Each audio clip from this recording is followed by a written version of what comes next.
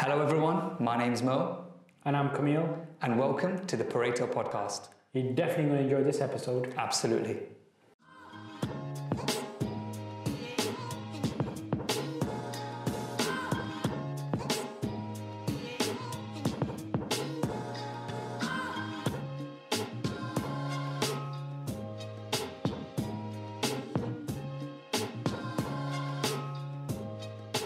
Welcome, everyone, another episode of the uh, Pareto podcast. More specifically, looking at the NHS fundamentals and carrying on with that part of the journey. Um, today, we're going to be uh, discussing a little bit about employment, employment within the NHS, um, including um, how to get employed, what employment looks like, what roles are available for employment, and um, what your income might look like, and how progression um, you know, might proceed.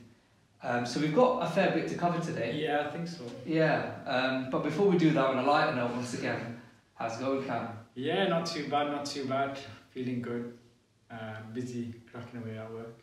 Absolutely, absolutely. Seen anything interesting at work or? Yeah, I mean, you know, generally we are quite busy within gastroenterology department. So, you know, covering liver disease, um, also covering things like inflammatory bowel disease, ulcerative colitis, Crohn's. We do have regular patients and also some new faces as well. Mm. Um, and unfortunately, you know, certain conditions that do progress over time. Um, you know, dealt with a particularly difficult case in terms of cirrhotic um, liver disease.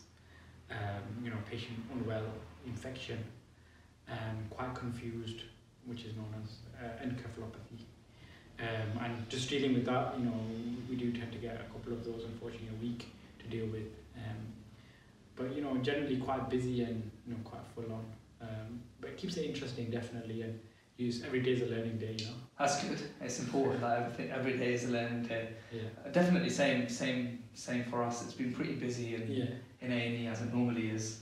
Um, but lots of unfortunate absences, people getting flus. It's, temperature's not been not been great. It's been a Mm. little bit cold, um, and um, you know people getting unwell, Yeah. um, not feeling very well, and uh, of course you've got the, the the C word that's rising, COVID. Mm. Um, but but not to dangerous levels. Just the fact that there's a bit more absences, so that's affecting uh, workforce and etc. But you live with it, you deal with it. It's the day to day, and uh, it, you know you go to work because it's uh, you know you're paid to do it. So on that on that note, see how about that. Um, let's talk about pay a little bit. Yeah. Um, so Cam, I'm quite interested to know. I mean, you've you've been working in the NHS for a while. yeah, around three years Yeah, now. yeah, about about similar period of time for me, about four or five years. Mm. Um, so we're we're we're not quite veterans. Far from it. I Far- think we're babies in some people's eyes. uh, yeah, I guess we are. Um, but but we'll, we'll probably get there one once Yeah. one one day perhaps. Yeah. Um, but tell tell us about pay and uh, employment in particular within the NHS. Yeah, so the NHS, as you're well aware, is a very big employer. Um, Over a million people directly employed by the NHS. Wow.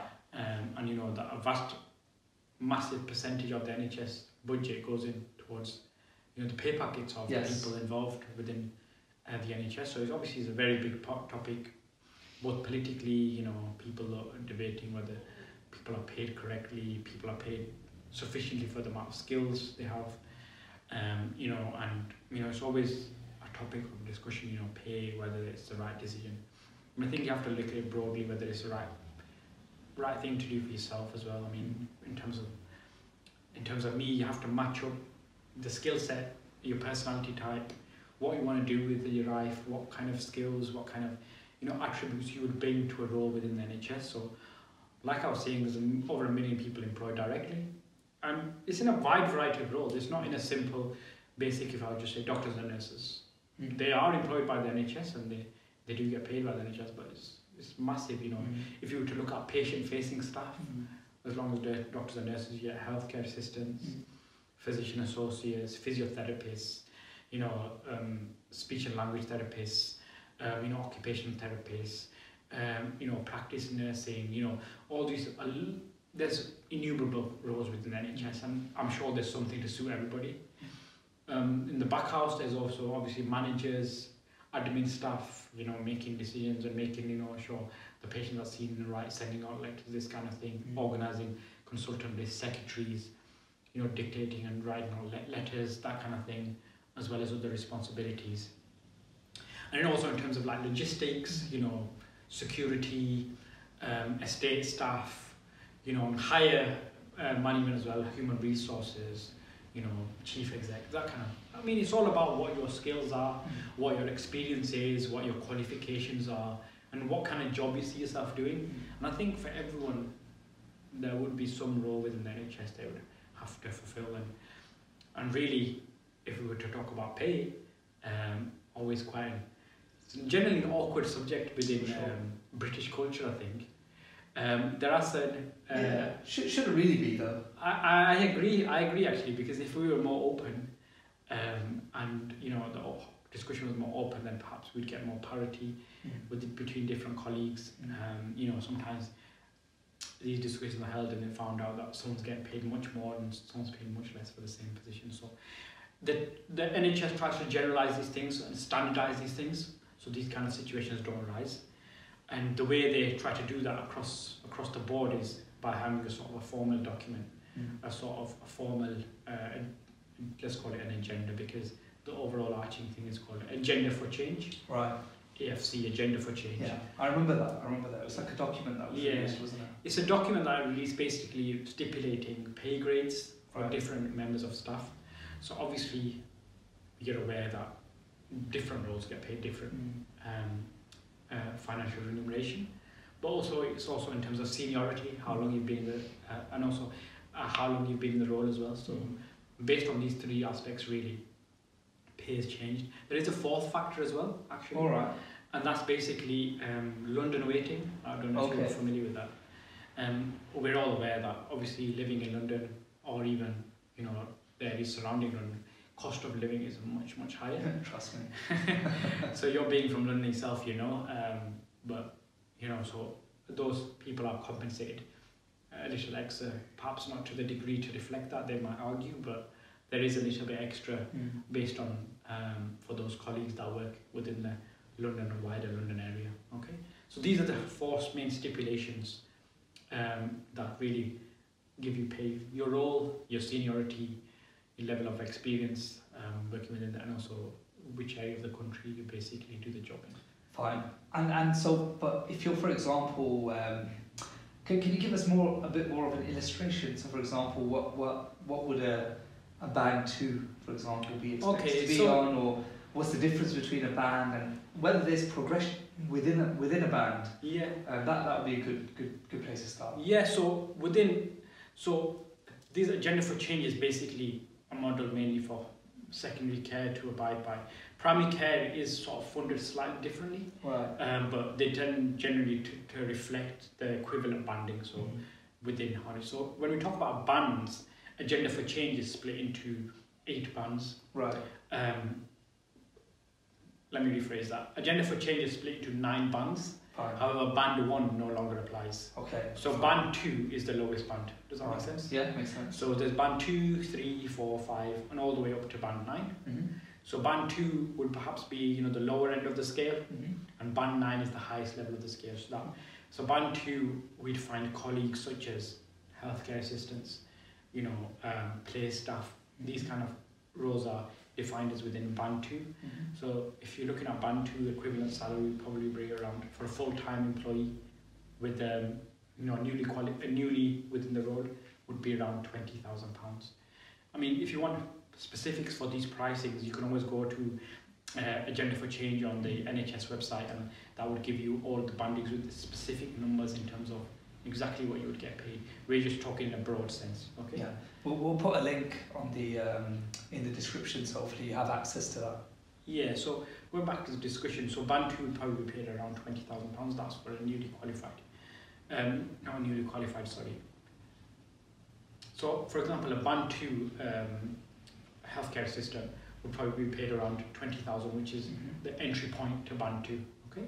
Now, as they develop their experience, as they work more longer hours, Mhm. um, more longer years within that role, they subsequently, as their experience goes on, Mm. they get paid increasingly amounts. So after two years, there's a little bit of a balance salary bump, and after five years, there is as well. Okay. Fine. And then, so for example, to go from a very typical example would be a newly qualified nurse, if we go to that, they would be qualified. They would be paid around something called band 5. So band, band 2, 3, 4, band 5, okay? Now, band 5 would be around £27,000. pounds That's the, you know, for a newly qualified nurse, with the first NHS uh, job would be paid around that, and that's around £27,000 pounds at the, at the moment of recording, okay? And, you know, if you, you know, you're talking about, you know, increasing that, is there any way to go? So yeah, there's a couple of ways really. So with experience, you get paid more. So you know, after two years experience, after five years experience, there's a little bit of a, a pay jump as well. So you know, as you become more efficient in your role, you know what you're doing a little bit more.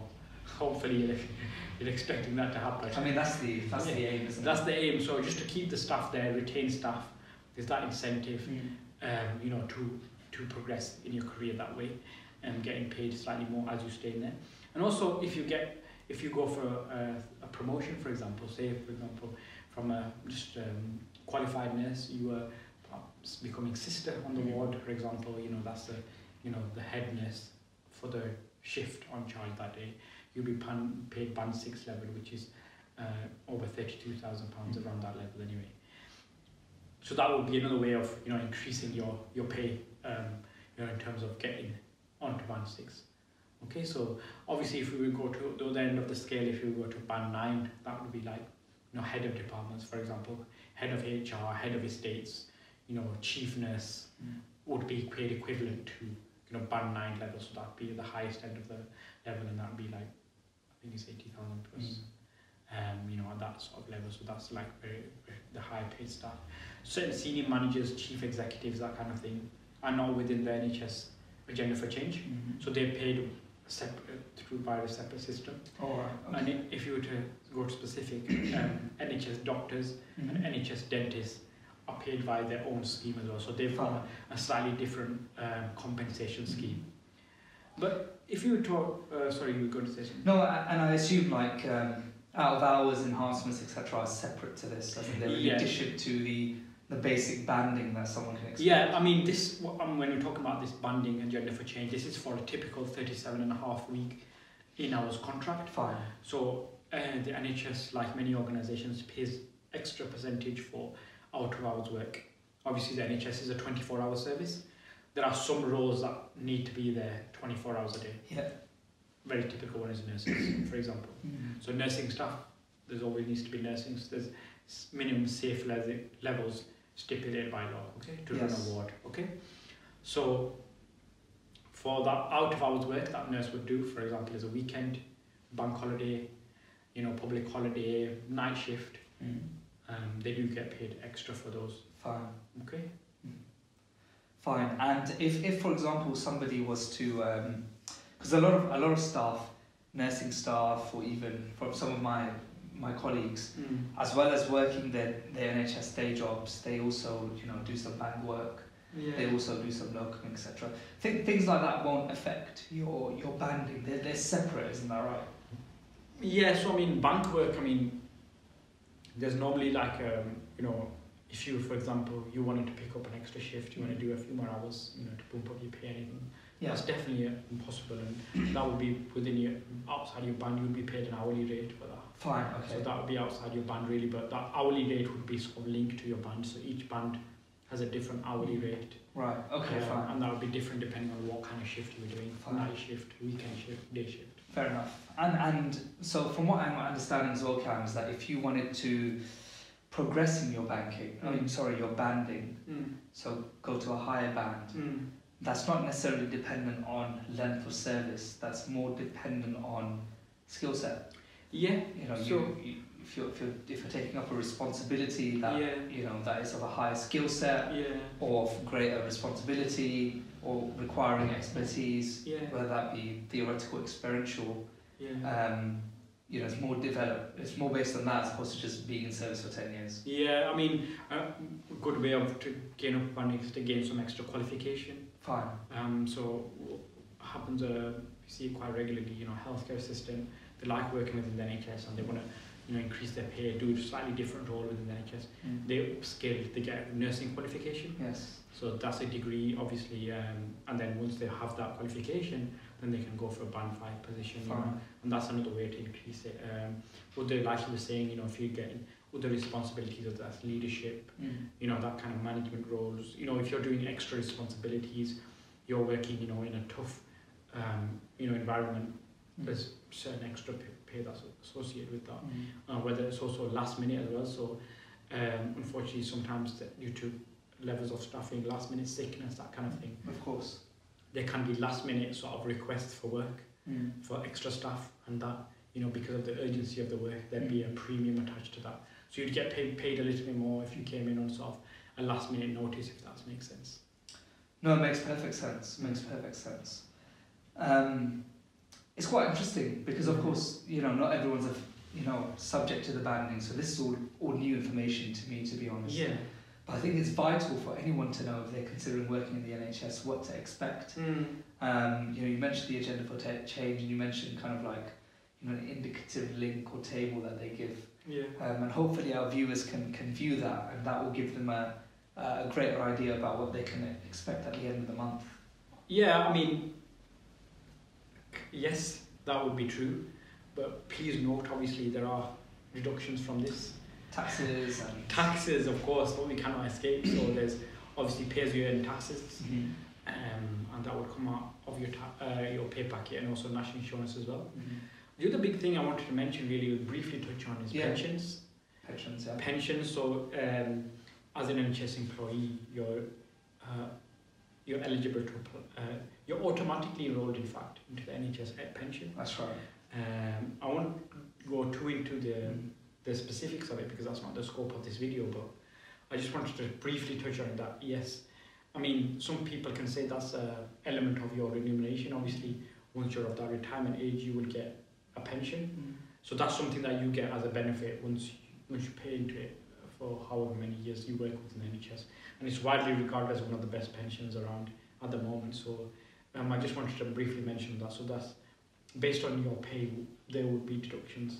Fine. Um, but like I say, you can't get extra for working extra hours. If you go up a band, you do some more seniority, that kind of thing. Mm. Okay. Brilliant, brilliant. I think um, I think that covers most of it. To be honest, you've been really comprehensive in terms of your explanation. I, I think the NHS tries its best, you know, to sort of level the sort of playing field and make it as objective as possible to sort of understand what your pay, pay packet would Yeah, look like. and, and as simplified as possible because even when I was looking at the um, Yeah. okay, simple might be a strong word, but I mean that table is pretty good for the agenda of change. Mm. Agenda for change. It sort of st- stipulates, and you know, then once you go into your annual review meetings, you can sort of raise to your HR people these sort of, ex- especially the experience linked Yes. uh, boost income sort of come with experience as well. So they sort of, sort of automatically apply once you read that reach that level of Fine. uh, within that same job load. Brilliant, brilliant. Anything to add? I think that's uh, quite a lot of information we've given today in I terms think of so. uh, pay and you know what what patient what colleagues Mm. what potential people that would want to work within the NHS. I mean, it's it's very uh, subjective in terms of do people feel like they're appropriately paid. It's a pretty political hot topic, Yes. Um, you know, and I don't want to bring that into the, our discussion at the moment, but it's something we must be aware of that you know certain people, um, in terms of pay, there are disagreements, Mm. uh, and I think because it is such a such a, tough topic, Mm. people don't tend to bring it up much in this country. I know, um, but I think we should break barriers with this podcast, and you know, it's something that we definitely. The more information you have, the more informed decision you can make, That's and that's true. something very important that we want to raise within this platform. No, absolutely. And I think you've put it really aptly, actually. Thanks, That's good. No, brilliant, brilliant. I think we'll call it a wrap there. Okay. I think we've covered covered a fair bit of ground. Mm. Um, you know, we've discussed, um, you know, what the process of NHS banding looks like.